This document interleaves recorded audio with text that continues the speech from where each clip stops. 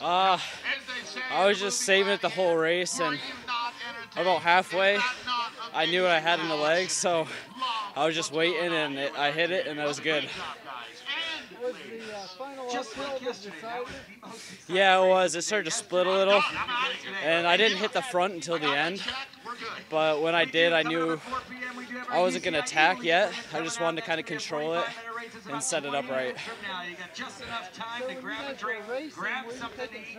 Meet us back down in about five Uh. I was sitting third wheel most of the race, just kind of following lines, doing my own thing. But I made a few mistakes in the middle, but I was able to get back from it. Thank you very much.